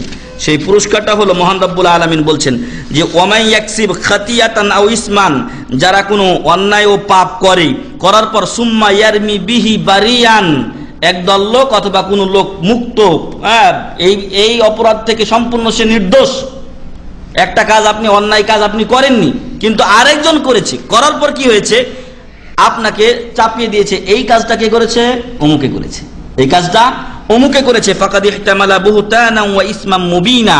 এই লোক বড় অপবাদ বহন করল। এই লোকের উপরে বড় অপবাদ দিল এবং বড় স্পষ্ট পাপের বোঝা তার উপরে অর্পিত হবে। সূরাতুন নিসা একশো বারো নম্বর আয়াত। রাসূল সাল্লাল্লাহু আলাইহি ওয়াসাল্লামকে বলা হয়েছিল যে আপনি রসুল সাল্লাম গিবত কি জিনিস? তখন রসুল সাল্লাম বললেন জিকরুকা আখাকা বিমা ইয়াকরাহ। গিবত হলো যে তুমি তোমার অপর মুসলমান ভাইয়ের কোনো ত্রুটি অন্যের কাছে বর্ণনা করবে, যেটা সে অপছন্দ করে। তখন একজন সাহাবী বললেন যে আল্লাহ রসুল সাল্লাম আপনি ভেবে দেখেছেন কি, যেই দোষটার কথা আমি বলছি, সেটা যদি ওর মাঝে থাকে? তো বললেন যে, যদি ওই দোষটা থাকে, তাহলে তুমি তার গিবত করলে। আর যদি না থাকে যে দোষটা ওই লোকের মাঝে নেই ওই দোষটা তার উপরে চাপিয়ে দেওয়া এটা হলো বহুতান এটা হলো অপবাদ আর যারা আহ, অন্যকে অপবাদ দেয় তারা নিশ্চিত বড় পাপী আরো একটা কথা উম, মহান রব্বুল আলমিন বলেছেন যে والذين والذين يؤذون المؤمنين والمؤمنات بغير ما اكتسبوا فقد احتملوا بهتانا واثما مبينا নিশ্চয় যারা মমিন এবং মমিনা নারীদেরকে কষ্ট দেয়, তাদের তারা যে কর্ম করেনি তার অপবাদ দিয়ে নিশ্চয় তারা বড় অপবাদ দানকারী এবং তারা স্পষ্ট পাপী। তারা স্পষ্ট পাপী আর পাপের পরিণাম অবশ্যই শাস্তি। সৌরাতুল আহজাব, আটান্ন নম্বর আয়াত। তো সম্মানিত ভাই এবং বন্ধুগণ, এই দলটাও একটা দল আমাদের মাঝে এখন বের হয়েছে। যারা কিছু অন্যায় করে অন্যের ঘাড়ে চাপিয়ে দেওয়ার চেষ্টা করছে। তো আমরা যদিও আমাদের এই স্বল্প পরিসর, এর মাধ্যমে আমরা অন্তত জানতে পারি, পারলাম এবং আমরা যেন অন্যদেরকে জানাই যে এরকম করাটা অন্যায়। এবং এজন্য পরকালে শাস্তি অপেক্ষা করছে, যারা এরকম করেছে, তারা যেন যাদের উপরে এগুলো চাপিয়েছে, সেগুলো উড্র করে এবং তারা যেন তৌবা করে আল্লাহর দিনের পথে ফিরে আসে। যদি সে নিজেকে মুসলিম মনে করে, যদি সে নিজেকে পরকালে নাজাদ পাওয়া, নাজাত প্রাপ্তদের কাতারে সামিল করতে চায়, তাহলে দুই নাম্বার বলছিলাম যে, যারা আল্লাহর কাছে ক্রোধের পাত্র তার মধ্যে এক নাম্বার হলো, যে ব্যক্তি হারাম এরিয়ার ভিতরে ইস- সীমা লঙ্ঘন করে, রক্তপাত ঘটায়, সেই লোক ওয়ামুক্তাগিন ফিল ইসলামে সুন্নাতাল জাহিলিয়া, ইসলামের মাঝে যে জাহিলিয়াতের সংস্কৃতি ঢুকাতে চায়, ওয়ামুত্তালিবু দামিমরিইম বিগাইরি হাক্কিন লিহুরি কাদামাহু, এবং ওই লোক আল্লাহর কাছে সবচাইতে ক্রোধের পাত্র, পাত্রের অন্যতম একজন, যে অন্যের রক্ত প্রবাহিত করার জন্য অন্যায়ভাবে চেষ্টা চালায়। অন্যায়ভাবে যে অন্যের রক্ত প্রবাহিত করার চেষ্টা করে, হতে পারে যে তার নামে মামলা হয়েছে, মিথ্যা সাক্ষী দিয়ে তার ব্যবস্থা করল, এটাও তার অন্তর্ভুক্ত হবে। ফলে এরা মোহন রব্বুল আলমিনের ক্রোধের পাত্র। সেই সেই বুখারির ছয়শো ছয় হাজার তিনশো চুয়াত্তর নম্বর হাদিস সম্মানিত ভাই এবং বন্ধুগণ, এই কতলকে, এই অন্যায় হত্যাকে মহান রব্বুল আলমিন সম্পূর্ণ হারাম করে সুরাতুল আন আমের একশো একান্ন নম্বর আয়াতে বলছেন, কুল তাআলাউ আতলু মা হাররামা, রব্বুকুম আলাইকুম আল্লাহ তুশরিকু বিহি শাইআ। মোহাম্মদ সাল্লাহ আলী সাল্লাম আপনি বলে দিন, তোমরা আসো, আমি তোমাদেরকে সেই বিষয়গুলো পড়ে শোনাই, যেগুলো মহান রব্বুল্লাহ আলমিন তোমাদের উপরে হারাম করেছেন। এক নাম্বার হচ্ছে আল্লাহ তুশরিকু বিহি শাইয়া, তোমরা আল্লাহর সাথে কাউকে শরীক করবে না। দুই নাম্বার হচ্ছে, ওয়াবিল ওয়ালিদাইনি ইহসানা, পিতামাতার সাথে সদ্ব্যবহার করবে। আর অসৎ ব্যবহার করা এটা কি? সম্পূর্ণ হারাম। ওয়ালা তাকতুলু আউলাদাকুম মিন ইমলা। আর খাদ্য বা খাবার দিতে পারব না, দারিদ্রতার ভয়ে সন্তান হত্যা করবে না। কিন্তু এখন অনেক লোক আছে, আরে এত ভেজাল কি করব আর? সন্তান বন্ধ এখানে। একটা, দুইটা নেওয়ার পর খালাস, না সম্পূর্ণ হারাম। যদি আপনি এরকম আকিদা রাখেন যে আমি খাবার দিতে পারব না, তাহলে আপনি শিরিক করবেন। খাবার দাতা হলেন মহান রব্বুল আলমিন, আর আল্লাহ তালা এটা পৃথিবী যখন সৃষ্টি করেছেন, তখন সকলের দায়িত্ব নিয়ে রেজেকের দায়িত্ব নিয়েই তিনি সৃষ্টি করেছেন। আর আপনি যদি বলেন যে আমি খাবার দিতে পারব না, তাহলে আল্লাহর সাথে আপনি শিরিক করলেন, নিজেকে সেই পর্যায়ে নিয়ে চলে গেলেন। আল্লাহ যেন এরকম অপরাধ থেকে আমাদেরকে হেফাজত করেন আল্লাহ আমিন। নাহানু নারযুকুকুম ওয়া আল্লাহ বলছেন, তোমাদেরকে আমি রিজেক দেই, ওদেরকেও আমি রেজেক দেব। ওয়ালা তাকরাবুল ফাওয়া- ফাওয়াহিশ মা যাহারা মিনহা ওয়া মা বাতান। যত অপসংস্কৃতি আছে ফাহেসা ঘৃণিত, নিন্দনীয় কাজ আছে, প্রকাশ্য হোক আর অপ্রকাশ্য অপ্রকাশ্য হোক, ওগুলোর কাছেও যাবে না। ওয়ালা তাকতুলুন নাফসাল্লাতি হাররামাল্লাহু ইল্লা বিল হক। আর যেই নফসকে আল্লাহ তাআলা হত্যা করা হারাম করেছেন, সেগুলোকে হত্যা করবে না সত্য ব্যতীত। কোনো ব্যক্তিকে হত্যার জন্য তিনটি কারণ আছে। তিনটি কারণে অন্য কাউকে হত্যা করা যায় এবং সেই হত্যা করার দায়িত্ব আমার, আপনার নয়, বরং মুসলিম সরকারের যদি তারা ওই অন্যায়গুলো করে। কেউ যদি অন্যায় করে, ওই তিনটি অন্যায়ের যে কোনো একটি, তাহলে সরকারের দায়িত্ব হচ্ছে তাকে শাস্তি প্রদান। আর তার মধ্যে একটা হলো যে যে ব্যক্তি মুরতাদ হয়ে যায়, যে ব্যক্তি মুরতাদ হয়ে যায়, সেই ব্যক্তিকে হত্যা করতে হবে। আর এটা এজন্য যে সে নিজের ইচ্ছায় ইসলামে প্রবেশ করেছিল স্বেচ্ছায় এই দিন মানার জন্য কি করেছিল? স্বেচ্ছায় এই দিন মানার জন্য অঙ্গীকারাবদ্ধ হয়েছিল এবং এই দিনের যাবতীয় বিধান সে মেনে নিয়েছিল। আর সেই বিধানের একটা, সেই বিধানাবলীর একটি বিধান হলো, কেউ ইসলাম থেকে বের হয়ে গেলে তাকে কি করতে হবে? হত্যা করতে হবে। এই বিধান সে আগে মেনে নিয়েছে, ফলে তার সাক্ষ্য স্বীকারোক্তি অনুযায়ী তাকে কি করা হবে? হত্যা করা হবে। এটা এক নম্বর। দুই নম্বর হচ্ছে যে যেই কথাটা আমরা বলছি, অন্যায়ভাবে কাউকে হত্যা করা যাবে না। কেউ যদি অন- অন্য কাউকে অন্যায়ভাবে হত্যা করে, তাহলে কেশার স্বরূপ তাকে কি করতে হবে? হত্যা করতে হবে। দুইটা। তিন নম্বর হচ্ছে, যদি বিবাহিত বা বিবাহিতা নারী পুরুষ কেউ জেনা করে, তাহলে তার অপরাধের শাস্তি স্বরূপ তাকে রজম করে হত্যা করতে হবে। এছাড়া অন্য কোনো কারণে কোনো মুসলমানকে হত্যা করা যাবে না। জালিকুম ওয়াসাকুম বিহি লাআল্লাকুম তাকিলুন মহান রব্বুল আলামিন এগুলো তোমাদেরকে ওসিয়ত করছেন। নসিহত করছেন যাতে তোমরা বুঝতে পারো যাতে তোমরা বুঝতে পারো যাতে তোমরা অনুধাবন করতে পারো। সূরাতুল আনআম 151 নম্বর আয়াত। তাহলে এখান থেকে আমরা বুঝতে পারলাম যে অন্যকে হত্যা করা জায়েজ নাকি? না হারাম। সম্পূর্ণ হারাম। আর যদি কেউ অন্য কোনো ব্যক্তিকে অন্যায়ভাবে হত্যা করে, তাহলে তার পুরস্কার যেগুলো একটু আগে উল্লেখ করেছি, সেগুলো তাকে পেতে হবে। রসুল সাল্লাহ আলী ওসাল্লাম বলছেন, আকবরুল কাবায়ের সবচাইতে বড় পাপ পৃথিবীর বুকে এক নাম্বার হচ্ছে আল ইশরাকু বিল্লাহ, আল্লাহর সাথে শিরিক করা। দুই নাম্বার, কাতলুন নাফস, অন্য কাউকে অন্যায়ভাবে হত্যা করা। তাহলে কেউ যদি হরতাল করে হোক, অবরোধ করে হোক, অথবা সরকারি দলের হয়ে, পুলিশের হয়ে অন্য কাউকে যদি গুলি করে হত্যা করে, আপনার চাকরি যেখানে মন সেখানে যাক না কেন? আপনার চাকরি যেখানে মন সেখানে যাক না কেন? অন্য নিরাপরাধ লোককে যে হত্যার যোগ্য নয়, তাকে যদি আপনি হত্যা করেন, পুলিশ হন আর বিজিবি হন আর আর্মি হন, যাই হন না কেন আপনি আপনি এই হত্যার জন্য দায়ী থাকবেন এবং কিয়ামতের দিন আল্লাহ আপনাকে এর শাস্তি বুঝিয়ে দেবেন। অতএব কি চাকরি করছেন বা কার আদেশ মানছেন সেটা আপনি ভালো করে বুঝে মানবেন বা চলবেন। ওয়া উকুকুল ওয়ালিদাইন, তিন নাম্বার বড় পাপ হলো পৃথিবীতে পিতামাতার অবাধ্য হওয়া।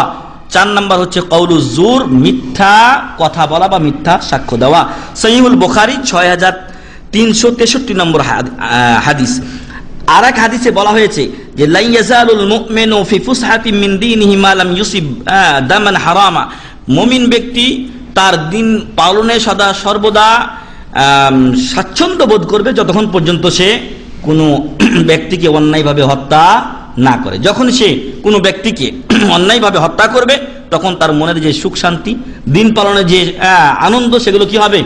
উঠে যাবে। আর আরেক আয়াতে বলা হয়েছে যে যে ব্যক্তি একটা লোককে হত্যা করল সেই জন্য সকল লোককে কি করল? হত্যা করল। আর যে একটা লোককে বাঁচিয়ে রাখল সেই জন্য সকল লোককে বাঁচিয়ে রাখল। এটার কারণ হলো এটাই যে, যখন একজন লোক একটা লোকের হরমাত, তার সম্মান নষ্ট করে তাকে হত্যা করে ফেলে, তখন আরেকটা লোককে হত্যা করা তার বাদে না। তখন আস্তে আস্তে কি হয়? টপ টেরর হয়ে যায়। আস্তে আস্তে কি হয়? টপ টেরর হয়ে যায়, বড় সন্ত্রাসী হয়ে যায়। মানুষ হত্যা করলে তখন তার আর অন্তর কাঁপে না। কিন্তু আমরা একটা লোককে চট দিতে জানতো একটা, থাপ্পড় দিতে জানতো। নিজেকে বাধা, অন্তরে বাধা দেয় যে, এই লোকটা কেন আমি মারতে যাব? অথচ এইখানে একদিন আলোচনা করে গেছেন শেখ বুরহান উদ্দিন। শেখ বুরহান উদ্দিন এই আপনার তিনতলায় আলোচনা করে গেছেন, যিনি গতবার সম্ভবত জুবাইলের আলোচক ছিলেন, গতবার বা তার আগের বার। রিয়াদের দায়ী। উনি পল্টনে চলছেন যে এখানে বাইতুল মুকারমের উত্তর গেটের ওই সাইডে ওই জায়গাগুলো, চিপাচাপি। ওইগুলোতে উনি যাচ্ছেন, হয়তো টাকা ভাঙাতে গিয়েছিলেন রিয়াল। তো দেখা গেছে যে দুই তিনটা পোলাপান, যারা টপ টেরের অন্তর্ভুক্ত, এই শয়তান পোলাপান করছে কি, ওরা নিজের থেকেই পাটা একটু এগিয়ে দিয়েছে। শাহেক চলছেন, আর পা একটু এগিয়ে দিয়েছে। ফলে উনি মনে করছেন, মনে হয় আমি, আমারই ভুল হয়ে গেল নাকি? ভাই সরি মনে করছেন আমার পক্ষ থেকে হয়তো তার পায়ে লেগে গেছে, তো উনি সরি বলেছেন। আসলে ওরাই ইচ্ছা করে লাগিয়েছে পাটা। লাগার পরে বলছে যে, বেটা সরি পা যখন চলো তখন দেখতে পারো না, কোথায় পা ফেলছো? ইত্যাদি কথা বলতে বলতে তাকে সাইডে নিয়ে গেছে। এরপর চাকু ধরে বলছে যে, যা আছে দিয়ে দাও। এরকম অবস্থা আপনি হ্যাঁ, একজন সাধারণ লোক উনা উনি ভাবলেন যে আমারই মনে হয় ভুল হয়ে গেছে। উনি বললেন সরি আর যারা মারলো যারা ইচ্ছা করে লাগালো তারাই বলল যে এবার যা আছে তুই দিয়ে দে। ফলে দেখা গেল যে যা ছিল সর্বস্ব মোবাইল টোবাইল সহ নিয়ে চলে গেছেন। তো প্রিয় ভাই এবং বন্ধুগণ মানুষ যখন অন্যায় পথে পা বাড়িয়ে দেয় তখন ছোট ছোট করতে করতে আস্তে আস্তে বড় পাপ তার কাছে কিছুই মনে হয় না। একজন মমিন মনে করে, তার ছোট পাপও তার কাছে যেন পাহাড় সম পরিমাণ। আর একজন পাপী ব্যক্তি, এটা ইবনে মাসুদ রাজি আল্লাহর কথা, আর একজন পাপী ব্যক্তি তার পাপকে মনে করে যে মাছির সম পরিমাণ। যার নাকের কাছে বসে, তখন আপনি কি করেন? তাড়িয়ে দেন। হাত দিয়ে তাড়িয়ে দিলেন, মাছি চলে গেল। এরকম আপনি আস্তে আস্তে দেখা যাচ্ছে যে আজকে দশ পা- দশ পাওয়ারের একটা পাপ করেছেন। কালকে পনেরো পাওয়ারের করবেন, পরের দিন তিরিশ পাওয়ারের করবেন, পরের দিন পঞ্চাশ, এরপর দেখবেন যা কোনো পাপ না, আপনার কাছে পাপ মনে হচ্ছে না, আপনি অটোমেটিকলি অন্যায় করে যাচ্ছেন। আর এই হচ্ছে আমাদের সমাজের যুব সম্প্রদায়ের অবস্থা। তারা বিপথে চলে যাচ্ছে, কিন্তু তাদেরকে সুপথ দেখানোর কেউ নেই। আলহামদুলিল্লাহ, ইসলামী দাওয়াত যখন আস্তে আস্তে প্রসারিত হচ্ছে, তখন অনেক অনেক যুবকেরা হকের পথে আসছেন। আল্লাহ তালা যেন তাদের সকলকে হেদায়ত দান করেন। আল্লাহ আমিন। যারা এই দুনিয়াতে গোপনে অন্যায়ভাবে কাউকে হত্যা করে মনে করছে যে কেউ আমাকে দেখল না, বিচার হলো না, পার পেয়ে গেলাম, তারা যেন রসুল সাল্লাহ আলী সাল্লামের এই হাদিস থেকে সাবধান ও সতর্ক হয়। যেখানে রসুল সাল্লাম বলেছেন ইয়াজি উল মাকতুল বিল কাতিলি ইয়াউমাল কিয়ামা। আপনি যত বড়ই টপটার আর বড় নেতা হন না কেন, আর যতই বড় আপনি এমপি মিনিস্টার হন না কেন, আপনি যদি অন্যায়ভাবে কাউকে হত্যা করেন অটোমেটিকলি কিয়ামতের দিন মহান রব্বুল্লাহ আলমিন মাকতুল যাকে আপনি অন্যায়ভাবে হত্যা করেছিলেন, তার হাতে আপনার মাথাটা দিয়ে দিবেন। কি দিবেন? মাথা দিয়ে দিবেন। আল্লাহ রসুল সাল্লাম বলছেন যে, ইয়াজিউল মাকতুল বিল কাতেলে ইয়াউমাল কিয়ামা। মাকতুল নিহত ব্যক্তি আসবে হত্যাকারীকে নিয়ে কিয়ামতের দিন। কোথায় পাবে? আল্লাহ তালা উপস্থিত করে দিবেন। কারও তো পালানোর উপায় নেই। আপনারা ওই লোকের কথা জানেন যে লোক তার সন্তানদেরকে বলেছিলেন যে, আমাক, আমি মরার পরে আমার আমাকে পুড়াবে, পিষবে, সাগরে ছিটিয়ে দিবে, আর বাতাসে উড়িয়ে দিবে, ইত্যাদি ইত্যাদি। কিন্তু মরার পরেই তো আল্লাহর কাছে আবার হাজির হয়েছে। তো আপনি যত বড়ই হত্যাকারী হন না কেন, মরার পরে আপনি উপস্থিত হবেন এবং আপনাকে নিয়ে যাকে আপনি হত্যা করেছিলেন, ওই সমস্ত লোকেরা উপস্থিত হবে কার কাছে? মহান রব্বুল আলমিনের কাছে। তারপরে বিয়াদিহি, যাকে আপনি হত্যা করেছিলেন, তার হাতে আপনার নাসিয়া বলা হয়, এই মাথার সামনের যে অগ্রের অগ্রের যে চুলগুলো আছে এগুলো। তো এই জায়গাটা ধরে থাকবে, তার হাতে থাকবে, তার তার মাথা। ওয়া আউদাজুহু তাসখাবু দামান, আর এই কাতেল হত্যাকারীর যে গ্রীবাগুলো আছে, যেগুলো কাটলে মানুষ মরে যায় অথবা কোনো পশু মরে যায়, এগুলো থেকে টপ টপ করে রক্ত পড়তে থাকবে। ইয়াকুলু, আর এই মাকতুল ব্যক্তি যাকে আপনি দুনিয়াতে হত্যা করেছিলেন, সে বলবে, ইয়া রব্বি, হে রব হাজা কাতালানি। এই লোকটা আমাকে কি করেছিল দুনিয়াতে? হত্যা করেছিল। হাত্তা ইউদনিহি মিনাল আরশ, এমনকি মহান রব্বুল আলমিনের আরশের কাছে, আল্লাহ তাআলার কাছে গিয়ে এই লোক, এই মাথাটা রেখে কি দাবি করবেন? বলেন। বিচার দাবি করবেন। বিচার দাবি করবেন, এ আমাকে হত্যা করেছে, যেই বিচার করা দরকার, মোহন রব্বুল আলমিন, আপনি আজকে তার বিচার করুন। আল্লাহ একবার তাহলে দুনিয়াতে যদি কেউ পালিয়ে বাঁচে, কিয়ামতের দিন পালিয়ে বাঁচতে পারবে না। নাসাই শরীফ তিন হাজার নয়শো চল্লিশ নম্বর হাদিস।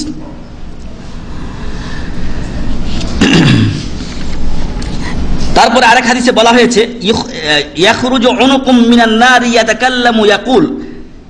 কিয়ামতের দিন জাহান্নাম থেকে একটা গর্দান বের হবে। গর্দান। গর্দানের কি থাকবে? এইটুক। এই- শুধু এইটুক থাকবে। তার চোখ থাকবে, তার কান থাকবে, মুখ থাকবে। এরকম যদি একটা অবস্থা দেখেন, আর কথা বলবে। যদি অবস্থা দেখেন, তাহলে ভয় পাবেন না। এতটুক উপরের স্থানটুকু আপনার, গলা থেকে উপরের জায়গাটুকু। চোখ আছে, কানও কানেও শুনছে আর মুখে কথা বলছে। তাহলে তো এমনি ভয়ে এখান থেকে সবাই আমরা পালিয়ে যাব। এই অবস্থা হবে কিয়ামতের দিন, জাহান্নাম থেকে এই এরূপ একটা গরদান বের হবে। এবং বলবে হুকিল তুল বিসালাসা। আজকে আমাকে তিনটা দায়িত্ব দেওয়া হয়েছে। আজকে আমাকে তিনটা দায়িত্ব দেওয়া হয়েছে। কি দায়িত্ব তাকে দেওয়া হয়েছে? বিকুল্লি জব্বারিন। দুনিয়াতে যারা অত্যাচারী ছিল, যারা জালেম ছিল, তাদেরকে শাস্তি দেওয়ার জন্য। অবিমান জালা মা আল্লাহি ইলাহান আখার। আর যারা আল্লাহর সাথে অন্যকে ইলা বলে মেনেছিল, তাদেরকে শাস্তি দেওয়ার দায়িত্ব আমাকে দেওয়া হয়েছে। অবিমান নাফসান আর ওই লোকের দায়িত্ব আমাকে দেওয়া হয়েছে যে ব্যক্তি অন্য- অন্যায়ভাবে কাউকে হত্যা করেছে। ফি জাহান্নাম। ওদেরকে পেঁচিয়ে, এই তিন প্রকার লোককে পেঁচিয়ে তখন জাহান্নামের অতল তলে সে নিক্ষেপ করবে। ফায়াকজিফ কাজা ফায়াকজিমান নিক্ষেপ করা। তাহলে কিয়ামতের দিন কিন্তু বাঁচার নাই। দুনিয়াতে আপনি পালিয়ে বাঁচবেন অথবা কোনো নেতার বাসায় গিয়ে বাঁচবেন কিন্তু কিয়ামতের দিন কোনো রেহাই নেই। তাই দুনিয়াতে কে কি করছেন সবাই যেন ভেবে চিন্তে করেন মুসনাদে আহমদের এক দশ হাজার নয়শো সাতাশ নম্বর হাদিস। এছাড়াও আহ, আরও অনেক হাদিস রয়েছে যেগুলোতে মমিনের রক্তকে অন্যের জন্য হারাম করে দেওয়া হয়েছে যদি ওই তিনটি কারণের কোনো কারণ না পাওয়া যায়। তাই সম্মানিত উপস্থিতি, আমরা মুসলমান মুসলমান হয়ে যেন অন্যের হত্যার কারণ না হয়, না হই, আল্লাহ যেন আমাদেরকে হক পথে চলার তৌফিক দান করেন। আল্লাহ আমিন। মহান রব্বুল আলমিন, তিনি অত্যন্ত রহমশীল, তিনি অত্যন্ত দয়াশীল, কিন্তু মহান রব্বুল আলমিন দয়াশীল হওয়ার পরও মহান রব্বুল আলমিন যারা জুলুম করবে, যারা অন্যায়ভাবে কাউকে হত্যা করবে, তাদেরকে কি করবেন না? ছাড় দেবেন না। এই জন্য যে মহান রব্বুল আলমিন প্রত্যেক ব্যক্তির উপরে রহম করেছেন, দয়া করেছেন, এরপরে তাকে এত সুন্দরভাবে সৃষ্টি করে পৃথিবীতে পাঠিয়ে এত কিছু নিয়ামত দিয়ে পরিপূর্ণ করে দিয়েছেন, যখন কোনো ব্যক্তি এই নিয়ামতের ভ্রুক্ষেপ করে না, তখন মহান রব্বুল আলমিন অবশ্যই তাকে শাস্তি দিতে দ্বিধা করবেন না। রসুল সাল্লাহ আলহি ওয়াসাল্লাম যখন বিদায় হজের ভাষণ দিচ্ছিলেন, তখন তিনি কিন্তু বলেছিলেন যে আজকের দিনে সেই দিনটি ছিল হারাম মাস, জিলহজ মাসের হ্যাঁ হারাম মাস নয় নয় জিলহজ আরাফার ময়দানে রসুল সাল্লাহ সাল্লাম বলছিলেন যে তোমাদের মাল, তোমাদের সম্মান, তোমাদের নফস পরস্পরের উপরে হারাম যেমন আজকের দিন এবং আজকের এই স্থান এবং এই মাস তোমাদের উপরে হারাম। আল্লাহ একবার জিলহাজ মাস হারাম মাস নয় জিলহাজ আরাফার ময়দানে কি এক মহিমান্বিত সময়? হ্যাঁ, যেই দিনটি পৃথিবীর বুকে শ্রেষ্ঠতম দিন সেই দিনের যেরকম কদর ও মর্যাদা মানুষের আহ, জান মাল এবং ইজ্জতের হরণ করা ওইরকম বড় অপরাধ। ওই স্থানে যদি কেউ এগুলোর হরণ করে তাহলে যেরকম বড় অপরাধ হবে ওই অনুরূপ অপরাধ অন্যায় হলো যে মানুষের ইজ্জতকে আপনি বেজ্জতি করবেন অথবা আপনি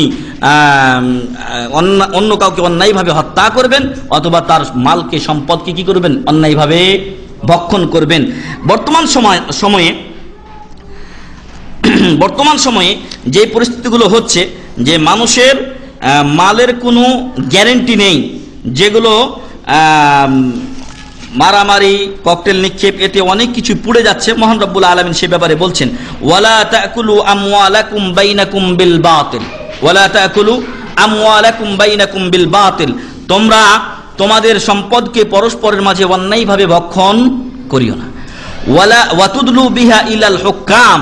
এবং বিচারকের কাছে এই বিষয়ে এই বিষয়গুলো নিয়ে যেও না, যে লিতাকুলু ফারিকাম মিন আমওয়ালিন নাস বিল ইসম।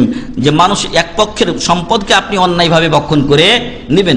একটা লোকের জমির দলিলটা ঠিকঠাক আছে, একটু জায়গায় একটু ফাঁক আছে, হয়তো লোকটা জানে না বা বুঝে না এই জন্য আপনি করলেন কি? আপনি একজন ভালো উকিল। আপনি দেখলেন যে এই পয়েন্টটা দিয়ে লোকটার জমিটা কি নেওয়া যাবে। দেখা গেল আপনি কেস মেরে দিলেন ওই লোকের নামে। কোর্টে গিয়ে দেখা গেল যে লোকটা জমিটা হারিয়ে ফেলল। না, এরকম মহামেলা কাজীর কাছে নিয়ে যাওয়া আপনার জন্য সম্পূর্ণ হারাম। অন্যায়ভাবে কারও মাল ভক্ষণ করা যাবে না। ওয়ান তুম তালামুন, এবং তোমরা এই অবস্থা সম্পর্কে জানছো যে এটা আমার জন্য হালাল নয়, এটা অন্যায়ভাবে আমি করছি। তো প্রিয় ভাই এবং বন্ধুগণ, যারা এইভাবে এইভাবে আমাদেরকে নিষেধ করা হয়েছে, আমাদের জন্য হারাম করা হয়েছে যে অন্যের মাল যেন আমরা অন্যায়ভাবে ভক্ষণ না করি। কিন্তু এরপরও যদি কেউ করে, তাহলে অবশ্যই সে গুণাগার হবে। আমরা শেষ করছি ইনশাআল্লাহ। শেষ প্রান্তে আমরা চলে এসেছি। এখানে একজন বড় প্রখ্যাত আলেম, তিনি বলছেন, ইবনে আরবি আন কাতরিল হাক্কিন। কোন চতুষ্পদ জন্তুকে অন্যায়ভাবে হত্যা করা নিষেধ। ওয়াল ওয়াইদু ফি জালিকা এবং এইভাবে যদি কেউ এই চতুষ্পদ জন্তুকে যদি কেউ অন্যায়ভাবে হত্যা করে, তাহলে তার শাস্তি কোরআন হাদিসে উল্লেখিত হয়েছে। একটা বিড়ালের কারণে একটা মহিলা কোথায় গেছে? জাহান নামে গেছে। তো যদি একটা বিড়ালের কারণে একটা মহিলা জাহান নামে যায়, ফাকাইফা বেকাত বেকাতলিল আদামি, তাহলে যে লোক একটা মানুষকে হত্যা করে তাকে কোথায় যেতে হবে? জান্নাতে? না। জাহান নামের অতল তলে তাকে যেতে হবে। ফাকাইফা বিল মুসলিম, একজন মানুষকে হত্যা করার অবস্থা যদি হ্যাঁ চিন্তা করে দেখেন, ওই অবস্থায় থেকে আপনি আরেকটু উপরে উন্নত এগিয়ে দেখুন, যে যদি আপনি একজন মুসলমানকে হত্যা করেন, তাহলে কি অবস্থা হবে? তারপর উনি বলছেন আর এর সাথে যদি আপনি একজন দিনদার পরেশগার আলেমকে আপনি হত্যা করেন, তাহলে আপনার পরিস্থিতি কি হবে? সম্মানিত ভাই এবং বন্ধুগণ, আসুন আমরা ইসলামী বিধান সম্পর্কে জানি এবং বর্তমান সময়ে বিভিন্ন দলের ক্ষমতার দ্বন্দ্বে জনগণ যে অতিষ্ঠ হয়ে পড়েছে, পিষ্ট হচ্ছে, সেগুলো থেকে নিজেরা বাঁচার পথ ও উপায় খুঁজি এবং জাতিকে সে পথে আহ্বান করি। মহান রব্বুল আলমিন আমাদেরকে সে তৌফিক দান করুন। আল্লাহ আমিন। যেই পরিস্থিতি আজকে আমাদের দেশে চলছে, আল্লাহ যেন সেখান থেকে আমাদেরকে উদ্ধার করেন। আল্লাহ আমিন। আজকে আমরা দোয়াফা, আমরা আজকে দুর্বল, আমাদের করার কিছুই নেই। যাদের কিছু করার আছে, আল্লাহ যেন তাদেরকে হেদায়াত দান করে, তাদেরকে এ জাতির কল্যাণে সমঝোতার একটা তৌফিক দান করেন আল্লাহ আমিন। এবং ক্ষমতার দ্বন্দ্বে অন্ধ না হয়ে, বরং জনগণের কল্যাণের জন্য যেই কথা তারা বলে থাকেন, গণতন্ত্র, সেই গণতন্ত্রের জন্য কাজ করার তৌফিক দান করেন আল্লাহ এই জন্য আমি বলছি না যে গণতন্ত্র জায়েজ, কিন্তু জনগণ এর জন্য যেহেতু তারা বলছে যে আমরা জনগণের কাজ করি, জনগণের তন্ত্র, সেই জনগণের জন্যই তারা যেন সমঝোতায় আসেন এবং আমাদের দেশে যেন একটা সুষ্ঠু নির্বাচন হয় এবং যাকে আল্লাহ তালা পছন্দ করেন, তিনিই যেন আমাদের নেতৃত্বে আসেন। মহান রব্বুল আলমিন যেন আমাদের দেশে সেই পরিস্থিতি সৃষ্টি করে দেন। আল্লাহ আমিন। আল্লাহ আমাদেরকে হেদায়ত দান করুন। আল্লাহ আমিন। আল্লাহ আমাদেরকে জান্নাতুল ফেরদাউস নসিব করুন। আল্লাহ আমিন। এবং যারা হক পথে থেকে, যারা হক পথে থেকে নিরীহ অবস্থায় এই আন্দোলনগুলোতে মারা যাচ্ছেন এবং ক্ষতিগ্রস্ত হচ্ছেন, আল্লাহ যেন তাদেরকে এর চাইতে উত্তম প্রতিদান দান করেন। আল্লাহ আমিন। ওয়া আখির দাওয়ানা আলহামদুলিল্লাহ রাব্বিল আলামিন। ওয়া সাল্লাল্লাহু আলা নবিয়িনা মুহাম্মদ ওয়া আলা আলিহি আজমাইন। আসসালামু আলাইকুম ওয়া রাহমাতুল্লাহি ওয়া বারাকাতুহু